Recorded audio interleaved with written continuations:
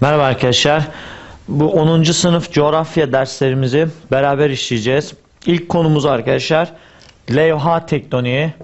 Oradan 10. sınıfın ilk konusu iç kuvvetlerden ayrıntı olan bir konumuzdur arkadaşlar. Dünyadaki kıtaların hareket etmesi dediğimiz konulardır bunlar. Dünyamız zamanlar evresine ayırdığımız zaman bundan yaklaşık olarak 900 milyon yıl önce arkadaşlar tek bir kara parçası. Dünyamız şurada duran Pengea denilen arkadaşlar tek bir kara parçasıymış. Çok eskilerden. Ama bu zamanla hareket ederek yer altındaki magmanın konveksiyonel hareketiyle yer altındaki 3 kısımdan oluşan noktamız şurası arkadaşlar. 0 33 kilometre dediğimiz alan. Şurası manto dediğimiz işte buradaki hareketlenme arkadaşlar.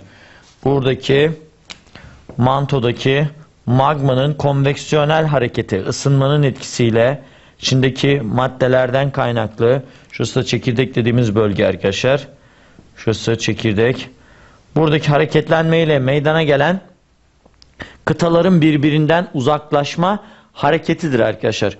Bunu ilk ortaya atan kişi Alman fizikçi arkadaşlar Wegener'dir. Ve zaten levha teknoloji dediğimiz dünyada bugün 7 büyük levhanın artı bir, bir de küçük olanı var 8 tane. Bunların hareket etmesidir arkadaşlar. Birbirinden uzaklaşması veya birbirine doğru yaklaşması. Çünkü levhaların iki şekilde hareketleri vardır. Bir birbirine doğru yaklaşma, bir de birbirine doğru uzaklaşma, birbirlerinden uzaklaşma dediğimiz hareketler. İşte bunlar dünyadaki arkadaşlar hareketlenme dediğimiz bu süreç bugünkü halini almıştır ve bu yaklaşık olarak buradaki bu süreç 400 milyon yıllık bir sürede gerçekleşmiştir arkadaşlar. Dünyadaki iç kuvvetlerdeki levha tektonundaki bu hareketlenmemiz yaklaşık olarak 400 milyon yılda gerçekleşmiştir. Bu 400 milyon yılda gerçekleşen süreç bizim zamanlar dediğimiz kavramlardır arkadaşlar. Zamanlar dediğimiz süreçlerdir. Zamanlar yani jeolojik devirler dediğimiz dönemlerdir arkadaşlar. Jeolojik devirler dediğimiz zamanlardır. Biz buraya arkadaşlar dünyamızın yaşı olarak hesapladığımız zaman bilim adamlarının verdiği 4.6 milyar yıllık bir yaşı vardır dünyamızın. Bunu tabii ki nereden bilebiliyor bilim adamları? Dünyadaki işte var olan kayaçları, taşları, toprak yapısını inceliyorlar. İnceledikleri metoda da arkadaşlar karbon 14 metodu diyoruz. Karbon 14 metoduyla dünyanın yaşının yaklaşık olarak 4.6 milyar yıllık bir süreç içerisinde oluştuğu söyleniyor. Bu zamanlardan en eski zaman ilkel zaman dediğimiz evredir arkadaşlar. Bu ilkel zaman dediğimiz evrede dünya e, büyük patlamadan sonra yaklaşık olarak bütün meteor taşlarının bileşiminden parçalanması, çarpmasıyla bileşiminden oluşan bir yapıdadır ve tamamıyla magma şeklindedir. Bu dönemde arkadaşlar ilkel zaman dediğimiz evrede tamamıyla magma şeklindedir ve yavaş yavaş soğumanın etkisiyle lavların içerisindeki magmanın içindeki gazların arkadaşlar dışarıya çıkıp bunların özellikle su buharı püskürtmesiyle yukarıda soğumanın etkisiyle bulut oluşturup 1 milyon yıllık süren bir yağmurlarla unutmayalım arkadaşlar 1 milyon yıllık süren bir yağmurlarla geçtiği bir dönemdir bu ve dünyanın yavaş yavaş şekillenmeye başladığı zamandır.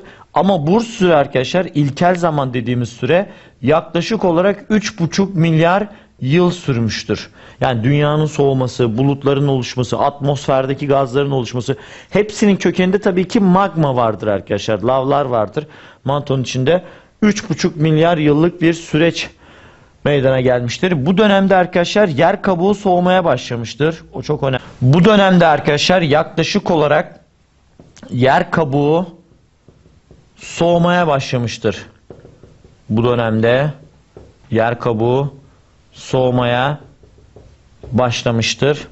Bu yer kabuğunun soğumasıyla beraber dünyadaki özellikle dış kuvvetler tarafından aşınacak olan dağlar da şekillenmeye başlamıştır. Çünkü volkanik patlamalarla beraber oluşan dağlar gerçekleşmiştir. Tabii ki bu dönemde bakteriler Alpler şekillenmeye başlamıştır bu dönemde canlı olarak. Tabii ki ona bağlı olarak yavaş yavaş bu süreçte ilk olarak bitkiler oluşmaya başlamıştır bu dönemde. Bu süreç içerisinde arkadaşlar. Ve dediğim gibi ilkel zaman dediğimiz süreç bu 3,5 milyar yıllık bir dönemde gerçekleşmiştir. Diğer zamanımız arkadaşlar birinci zaman dediğimiz evredir ve dünyada birçok yer kabuğunun artık soğumaya başladığı, taşlaşmaya başladığı, üzerinde bitki oluşup artık günümüzün çok daha ilkel örneklerini gösterdiği dağların oluşmaya başladığı, levhaların hareket etmeye başladığı zamanlardır. Birinci zaman dediğimiz levha hareketi, levha tektoniği bu dönemde gerçekleşir arkadaşlar. Bu birinci zaman dediğimiz evrede gerçekleşir.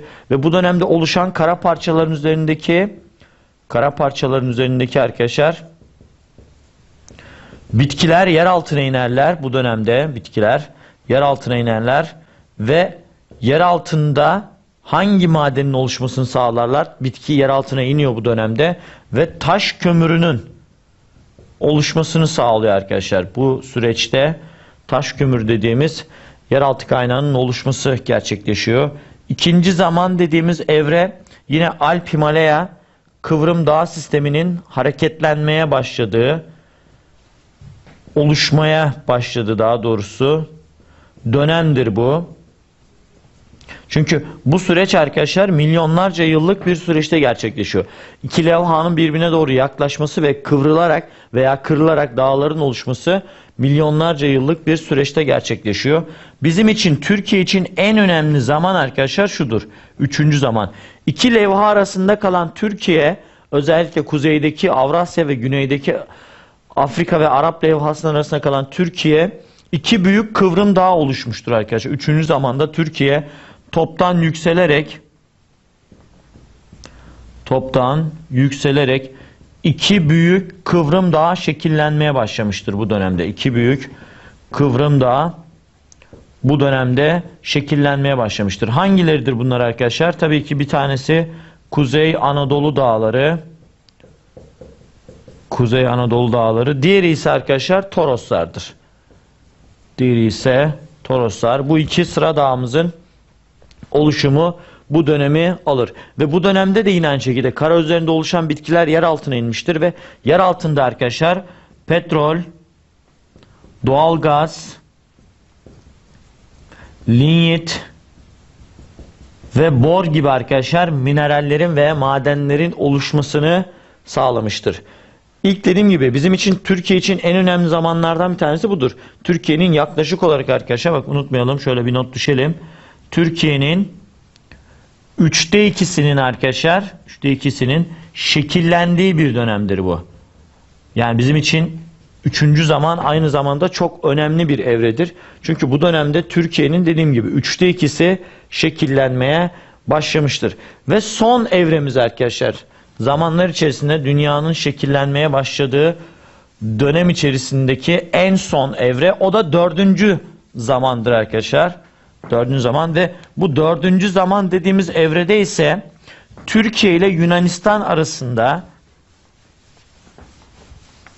onu yazmamıza gerek yok. Türkiye ile Yunanistan arasındaki Egeit kara parçasının çökmesiyle arkadaşlar sırasıyla Ege Denizi, Çanakkale Boğazı, Marmara Denizi, İstanbul Boğazı ve Karadeniz oluşmuştur arkadaşlar.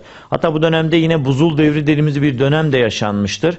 Ama unutmayalım boğazların oluşması İstanbul ve Çanakkale Boğazı'nın oluşması dördüncü zamanda gerçekleşmiştir. Şimdi biraz önce şey demiştim. Dünyamızın yaşı yaklaşık olarak 4.6 milyar yıllık bir süreç demiştik. Peki bunu neye bakarak tarih olarak verebiliyorlar acaba? Zaman olarak verebiliyorlar. Tabii ki dünyamızdaki taşları inceleyerek arkadaşlar. Şimdi dünyamızdaki taşlar diyelim. Onlardan bahsedeceğiz. Yer yapısının arkadaşlar ana materyalleridir bunlar taşlar. Yer yapısını incelememizi sağlayan unsurlardır bunlar. Taşlar 3 grupta incelenir arkadaşlar dünyamızda. Bunlardan birincisi püskürük kayaçlar. Püskürük taşlar arkadaşlar. Püskürük taşlar. İkincisi tortul taşlar arkadaşlar. Tortul kayaçlar. Özellikle arada sıkışmış olan, levhaların arasında sıkışmış olan kayaçlardır ve yer altında tortulaşmış olanlardır.